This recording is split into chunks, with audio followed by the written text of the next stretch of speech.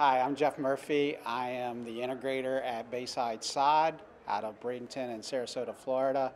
Uh, happy to be a part of this cohort. We are just embarking on our journey. There was so many tools that were introduced in this course. I'd heard about them, but not necessarily knew the detail of them.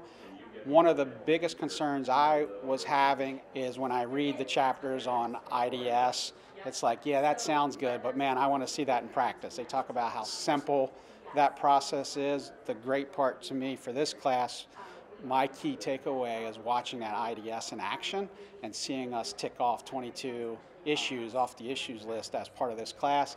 It gave me confidence and certainly has energized me to go back and, and implement this uh-huh. whole journey that we're going to take on.